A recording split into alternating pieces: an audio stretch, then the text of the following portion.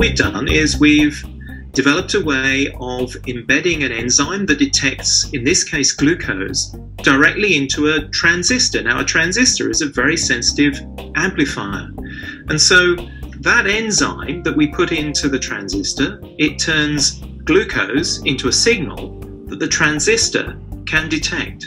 But now it's a transistor that we can manufacture by printing it because the electronic materials are all inks.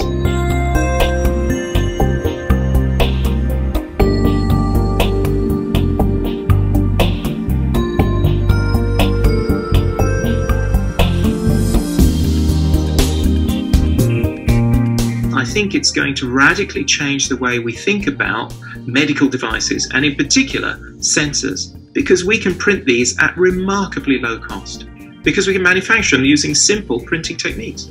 All the feedback we have at the moment is that people are, are itching to have this sort of test. Um, where we're at at the moment is we are getting um, to the point where we're about to embark on clinical trials. And so we're at that point now where we are heading towards manufacturing of these devices at large scale.